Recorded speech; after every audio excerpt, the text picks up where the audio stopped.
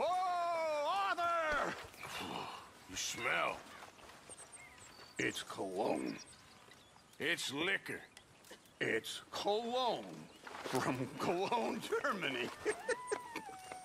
oh, I, I just had a few nips, Arthur. I'm not drunk. I'm just happy. you know, you ought to try sometime.